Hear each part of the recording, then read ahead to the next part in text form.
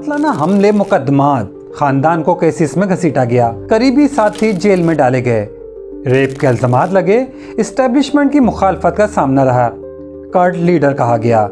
Media ने डट कर मुखालफत की और सियासी इंतकाम का भी निशाना बनाया गया। लेकिन सबसे पहले अमेरिका से आए अमेरिका को फिर से अजीम बनाए का नारा लेकर डोनाल्ड ट्रंप की व्हाइट हाउस में वापसी हो गई। रिपब्लिकन ट्रंप अमेरिका के सैतालीसवें सदर मुंतखब हो गए हैं। वो 245 साल अमरीकी तारीख में दूसरे सदर बन गए, जिसे पहली सदारत की मुद्दत के बाद वाले इलेक्शन में शिकस्त का सामना करना पड़ा। लेकिन अगले ही इंतबात में सदर मुंतखब होने में कामयाब हुए। ट्रंप से कबल डेमोक्रेट्स के ग्रोवर क्लेवलैंड पहली बार अठारह और फिर अठारह सौ तिरानवे में सदर बनने में कामयाब हुए थे। डोनाल्ड ट्रंप की यकीनी तौर पर अमेरिका की सियासी तारीख की सबसे ड्रामाई दास्तान है। वो अमेरिका की तारीख के ऐसे पहले सदर भी होंगे कि जिन्हें कारोबारी रिकॉर्ड में रद्दबदल करने की जुर्म में कसूरवार भी करार दिया गया है। चार मिजाज शख्सियत के हामिल ट्रंप ने अपनी इंतबी मुहिम के दौरान गैर कानूनी तारकिन वतन को अमरीका से निकाल बाहर करने का ऐलान कर रखा है। वो कहते हैं, कानूनी तौर पर अमेरिका आने वालों के लिए कोई रोक टोक नहीं। डोनाल्ड ट्रंप ने ट्रंप हेडक्वार्टर्स में विक्ट्री स्पीच के दौरान अमेरिका को यकीन दिलाया कि सुनहरे दौर का आगाज़ होने वाला है। उन्होंने वाशगाफ अल्फाज में कहा कि वो कोई नई जंग शुरू नहीं करेंगे, बल्कि जंगों का खात्मा करेंगे। ट्रंप ने वाजिया किया कि इनके गुज्तर चार साल दौर में कोई जंग शुरू नहीं की गई सवाए दाइश को शिकस्त देने की मुहिम के।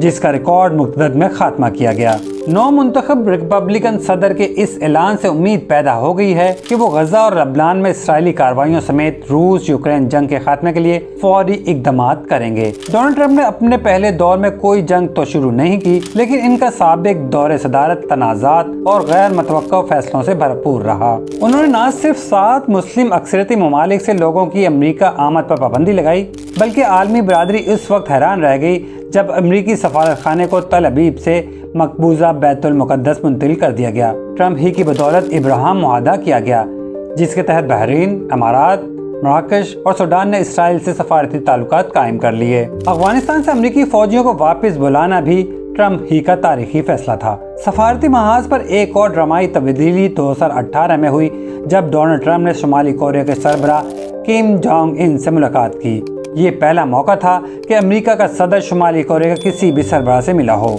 ट्रंप ने साथ ही मेक्सिको पर इल्ज़ाम लगाया कि वो जिनसी मुजरमान, मंशियात फरोशों को अमेरिका भेज रहा है। और ये कि सरहद पर दीवार बनाकर वो लागत मेक्सिको से वसूल करेंगे। ट्रंप माजी में अमेरिका के रंगीन मजाज अरबपति शख्स के तौर पर जाने जाते थे। एक ज़माना ऐसा भी था कि जब उनके अमेरिका के सदर बन जाने को ऐसी बात समझा जाता था कि जिस पर यकीन करना मुश्किल हो। न्यूयॉर्क में जायदाद के कारोबार से मुंसलिक फेड ट्रंप के बच्चों में डोनाल्ड ट्रंप का नंबर चौथा था। बेपना ख़ानदानी दौलत के बावजूद उन्होंने अपने वालिद की कंपनी में छोटी मोटी मुलाजमतें की। और जब डोनाल्ड ट्रंप तेरह साल के थे तो उनके वालिद को कमरे से एक चाकू मिला तो उन्होंने फ़ौरन ट्रंप की इसलाह के लिए उन्हें मिलिट्री स्कूल भेज दिया। ट्रंप उन्नीस सौ चौंसठ में स्कूल से फारिग हुए, जिसके बाद उन्होंने फोर्ड्रेम यूनिवर्सिटी में दाखिला लिया और दो साल बाद पेंसिल्वेनिया यूनिवर्सिटी के वार्टन बिज़नेस स्कूल में मुंतकिल हो गए। यहीं से वो कारोबार संभालने के लिए अपने वालिद की पसंदीदा औलाद बने। उन्हें इनके बड़े भाई फ्रेड ट्रंप जूनियर पर तरजीह दी गई, जिन्होंने पायलट बनने का फैसला किया था। और फिर फ्रेड जूनियर तैंतालीस बरस की उम्र में कसरत शराब नोशी की वजह से वफात पा गए। जायदाद की तमीर और खरीदो फरोख के कारोबार में कदम रखने के लिए ट्रंप ने अपने वालिद से 10 लाख डॉलर कर्ज लिया और बाद में वो खुद इनके कारोबार में शामिल हो गए। डोनाल्ड ट्रंप के वालिद रहायशी इमारतों की तमीर का कारोबार करते थे। ट्रंप ने न्यूयॉर्क में अपने वालिद के गैर मनकूला जायदाद के कारोबार में इजाफा किया और फिर उन्नीस सौ इकहत्तर में इस कंपनी की बाग दौड़ संभाली। और इसका नाम ट्रंप ऑर्गेनाइजेशन रख दिया। डोनाल्ड ट्रंप ने अपनी कंपनी के कारोबार को न्यूयॉर्क शहर में ब्रोकलिन और क्वींस में रिहायशी इमारतों की तमीर से मैनहट्टन में बड़े तामीराती मंसूबों तक पहुँचा दिया। उन्होंने कदीम कोमोडोर होटल को ग्रैंड हयात में तब्दील किया और फिफ्थ एवेन्यू पर इलाके की मशहूर तरीन इमारतों में से एक अड़सठ मंजिला द ट्रंप टावर बनाई। इसके बाद वो अपने खानदानी नाम पर ही एक एक करके इमारतें तामीर करते रहे। Trump Palace Trump World Tower Trump International Hotel and Tower ये फहरिस्त तवील है। और आज मुंबई, इस्तंबुल और फिलिपाइन में भी ट्रंप टावर्स मौजूद हैं। ट्रंप ने एंटरटेनमेंट की दुनिया में भी कदम रखा और यहाँ भी अपने सल्तनत कायम की। उन्नीस सौ छियानवे से 2015 तक वो मिस यूनिवर्स मुकाबलों के मालिक थे। इसके अलावा वो मिस टीन यूएसए जैसे मुकाबला हुसन के मुंतजिम भी रहे। 2003 में Trump NBC TV show Apprentice में नमदार हुए। इस शो में उम्मीदवारों ने ट्रंप की कंपनी में नौकरी हासिल करने के लिए मुकाबला किया। उन्होंने शो के 14 सीज़न में काम किया और दावा किया कि इसके लिए टीवी कंपनी ने उन्हें 213 मिलियन डॉलर अदा किए। इस शो के दौरान उनका रवायती जुमला यू आर फायर्ड बहुत मशहूर हुआ।